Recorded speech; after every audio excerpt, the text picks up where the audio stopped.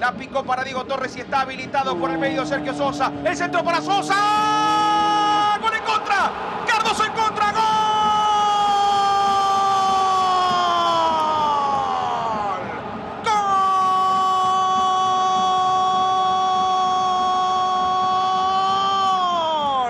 De estudiante de Buenos Aires. Facundo Cardoso la terminó empujando a los 37 minutos del complemento. Estudiante de Buenos Aires empieza a asegurar su pase a octavo de final de la Copa Argentina. Cardoso en contra. Estudiante de Buenos Aires 2, Pérez 0. Es muy buena